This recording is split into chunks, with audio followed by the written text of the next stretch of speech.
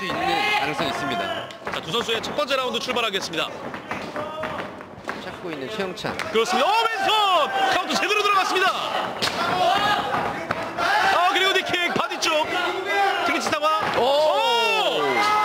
takedown은 최영찬 선수가 성공시켰습니다. 상위 포지션입니다.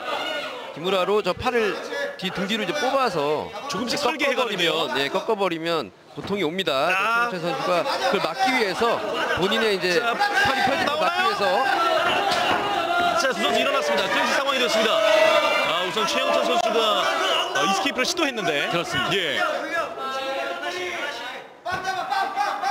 이제 기무라 같은 경우는 아, 밑에 깔려 있는 선수가 상위 선수한테 시도를 하면서 탈출할 수 있는 그런 계기를 마련해 주는 공격이에요. 네. 네, 선 선수가 굉장히 좀 잘 썼죠 이 타이밍 좋게.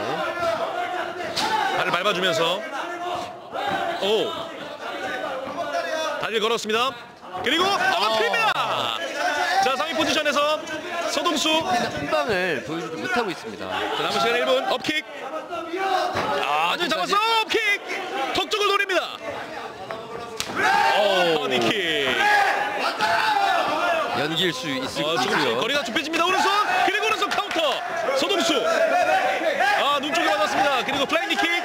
클린치 상황. 그렇죠. 오, 킥 들어갔습니다. 두 번째 라운드 얼마 남았습니다. 계속 때려줍니다. 자, 두 번째 라운드까지 종료됐습니다.